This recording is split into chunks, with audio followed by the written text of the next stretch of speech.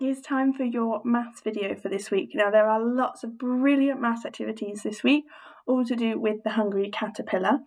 There's some ordering that you can do, and days of the week, things like that. But I'm going to talk to you about the challenge. Now, the challenge is to make 3D shapes using cocktail sticks or straws or pipe cleaners. And then to sit them together, you can use Blu Tack or Play Doh, or I'm going to use marshmallows. So I've washed my hands really good because if I wash my hands really nicely, then I can eat these marshmallows after. And I've got some little mini marshmallows that I'm going to use. I'm going to make some different 3D shapes. Now, I'm going to start with the 2D shape first because I know those really, really well. So I'm going to make a square. How many sides does a square have? Can you help me? Has four sides, so I need four cocktail sticks. And how many corners? Four. So I need four marshmallows. I'm going to push my cocktail stick into my marshmallows and that's going to hold them together. And I'm going to make my square.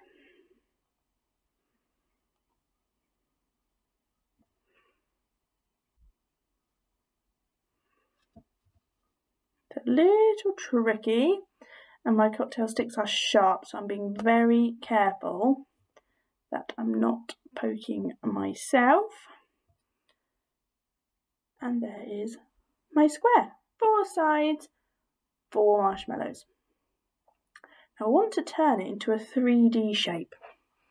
What 3D shape has a face of a square? A cube now a cube has more edges. Has 12 edges. So I'm going to need 12 cocktail sticks. So right now I'm starting by putting one cocktail stick coming up out of each one. And then I'm going to put a marshmallow on the top of each one and put another stick between them.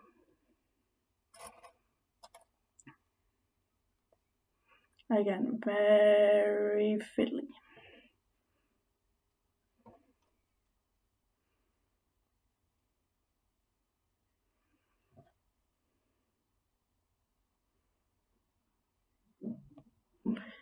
And now have made my cube. I have made a cube.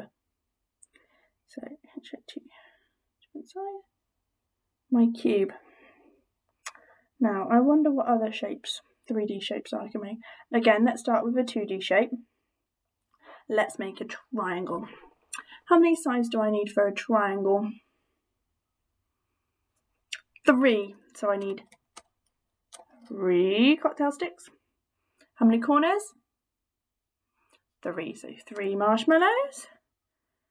Pop them together.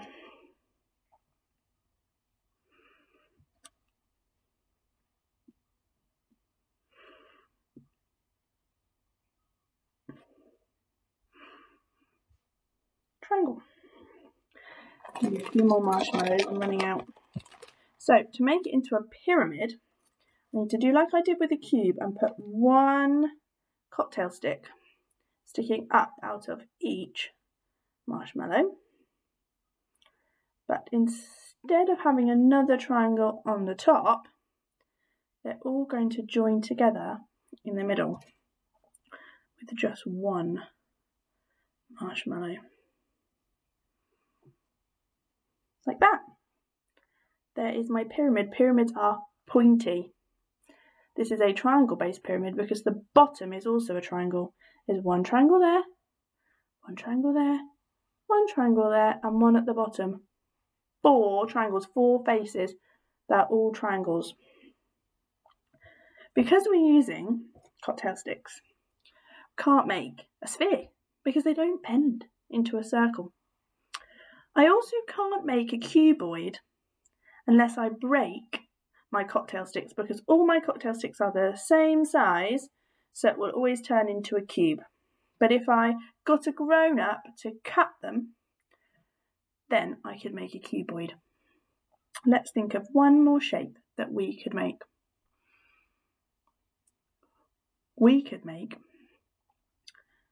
a prism. Now, prism, we're going to make a triangular prism. So it's going to start with a triangle again. So we know how to do that. Let's make a triangle again. Three sticks, three marshmallows. Got my triangle. Now prism is a bit more like a cube. We're going to put one stick coming up out of each marshmallow just like we did before, but we're not going to join them together this time. We're going to make another triangle to go on the top. So we need another three, and three,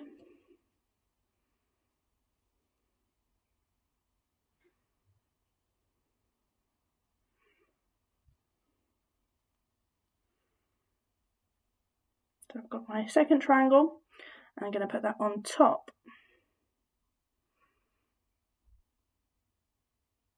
Of my first triangle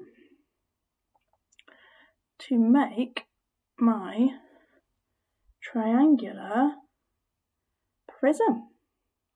Now triangular prism is different to a pyramid because it's not pointy and it's only got one, two triangle faces. It's got two triangle faces and one, two, three rectangle faces. They could also be squares. Square is a special type of rectangle. So you have two triangle faces, there's the triangular prism, and then we get one, two, three rectangle faces. So I've made a prism, I have made a pyramid, and I have made a cube. I wonder what shapes you can make. Start with your 2D shape and then turn it into a 3D shape. You could do labels for them as well. In reception, we don't need to be able to spell the names of those shapes, so your grown up could help you write them if you can tell them what the different shapes are. I can't wait to see what you build, and remember, wash your hands first if you want to eat those marshmallows after. Bye!